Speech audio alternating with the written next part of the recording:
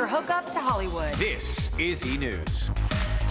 From a potentially cold marriage to the super hot Rosie Huntington Whiteley. Check out the British Beauties ad for Burberry's new fragrance. It's called Burberry Body. She is so gorgeous. The scent launches September 1st. While Rosie's wearing nothing but a trench coat, Mila Kunis is sporting even less.